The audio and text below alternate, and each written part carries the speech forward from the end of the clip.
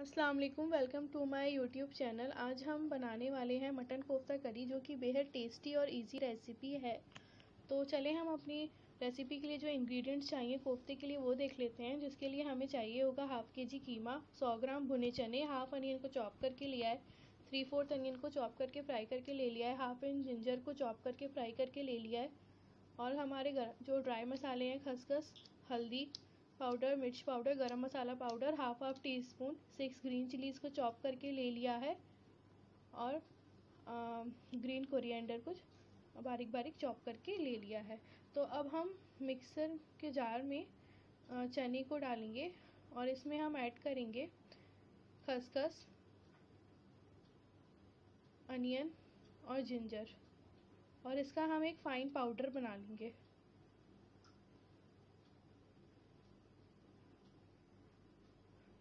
आप देख सकते हैं, इसका पाउडर बन गया है और हम इसको कीमे में मिक्स कर देंगे अच्छे से हाथों की हेल्प से।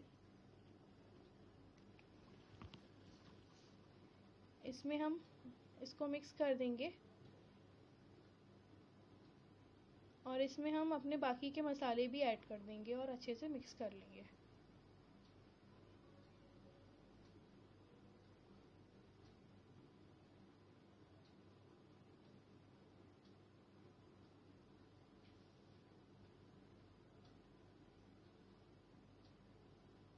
ये हमने हल्दी पाउडर ऐड कर दिया रेड चिली पाउडर ऐड कर दिया सॉल्ट ऐड कर दिया, गरम मसाला भी ऐड कर चुके हैं और ये ग्रीन चिलीज़ हमने ऐड कर दी हैं और हरा धनिया भी ऐड कर देंगे और प्याज को भी ऐड कर देंगे।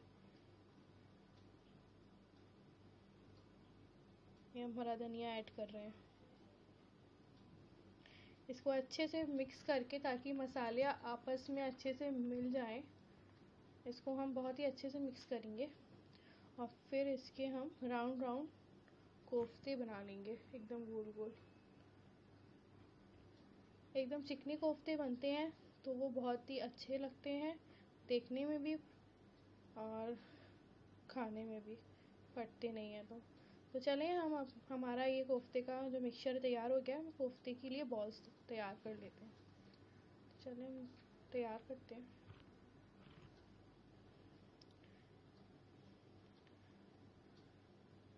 आप देख सकते हैं कितना गोल हमने तैयार किया है। ऐसे ही बाकी के कोफ्ते भी रेडी कर लेंगे। बहुत ही टेस्टी रेसिपी है। सबको बहुत ही घर में पसंद आती है। मेरे घर में सब बहुत पसंद करते हैं। आप देख सकते हैं हमारे कोफ्ते बनके तैयार हैं।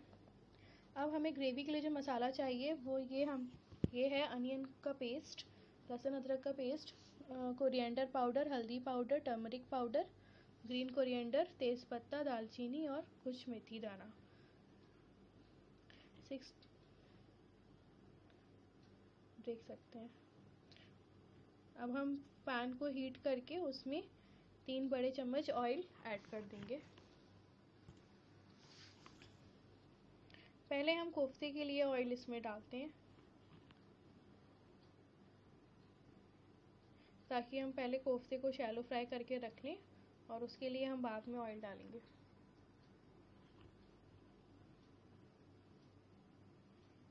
हम कोफ्ते ऑयल हमारा गर्म हो जाएगा तो हम कोफ्ते इसमें शैलो फ्राई कर लेंगे और उसको हम साइड से रख लेंगे। आप देख सकते हैं, हमें कुछ कोफ्ते इस तरीके से फ्राई करने ज़्यादा ओवरलोड नहीं करने, नहीं तो ये बिखर भी सकता है। अगर आप चने का पाउडर नहीं यूज़ कर रहे हैं, भुने चने का तो आप बेसन को भून के भी उसमें यूज़ कर सकते हैं।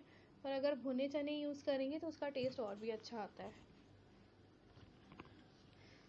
आप देख सकते हैं, कोफ्ते का कलर चेंज हो रहा है। ऐसे ही हम इसको शैलो फ्राई कर लेंगे।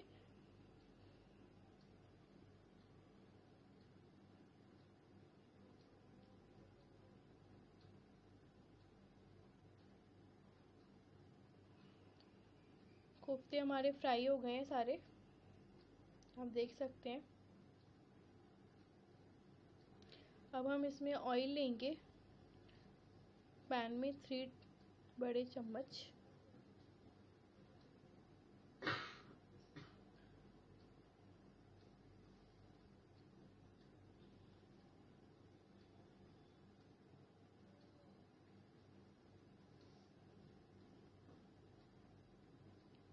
ऑयल हमारा गरम हो रहा है। इसमें हम मेथी दाना, दालचीनी का टुकड़ा और तेज़पत्ता डाल देंगे, उसको क्रैकल होने देंगे। और फिर हम इसमें अपना जो हमने पेस्ट तैयार किया है जिंजर गार्लिक का, हम वो ऐड कर देंगे।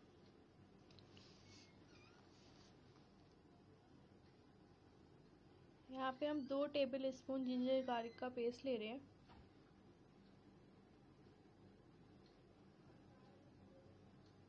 इसको हम सॉटे कर लेंगे एक दो मिनट तक, ताकि इसकी जो रॉ स्मेल है वो निकल जाए।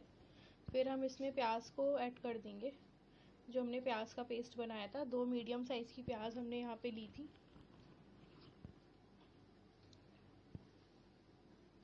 और हम इसमें अपना धनिया पाउडर ऐड कर दिया है सिक्स टेबल स्पून धनिया पाउडर। यहाँ पे हमने लिया था। हम इसमें बाकी के मसाले भी ऐड कर देंगे, हल्दी पाउडर।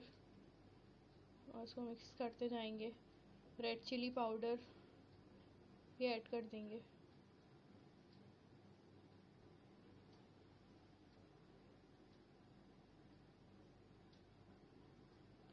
और हम इसको अच्छे से मिक्स कर देंगे।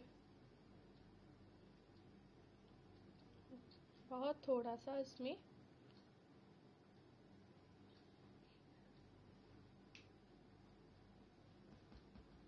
बहुत थोड़ा सा पानी डाल देंगे ताकि मसाला लगे नहीं नीचे और आप अपना भुन जाए। तो मसाला भुनने देते हैं, इसको अच्छे तरीके से भुने ताकि इसकी कच्चापन निकल जाए। एक कटोरी हमने इसमें पानी डाला है।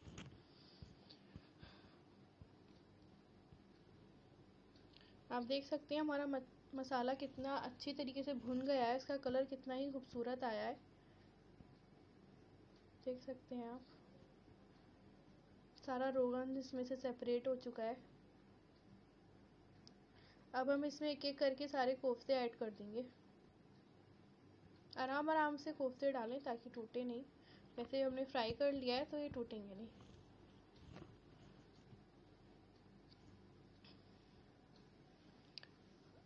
अब हम इसको लिड से कवर करके 10 मिनट तक के लिए पकने के लिए छोड़ देंगे। आप देख सकते हैं हमारे कोफ्ते पक के तैयार हैं। ये देखने में कितने ही लजीज लग रहे हैं। तो खाने में कितने लजीज होंगे। तो बस हम उसमें थोड़ा सा गरम मसाला डाल दिया है और थोड़ा सा धनिया डाल दिया है गार्निशिंग के लिए। और अब हम इसे गरम गरम सर्व करेंगे रोटी के साथ, पराठे के साथ, जिसके साथ आप खाना चाहें राइस के साथ। तो आप इस रेसिपी को ज़रूर ट्राई करें। बेहद इजी रेसिपी है, बहुत ही अच्छी लगती है। और कमेंट सेक्शन में अपना भी फीडबैक देना ना भूलें। Thank you so much for watching my channel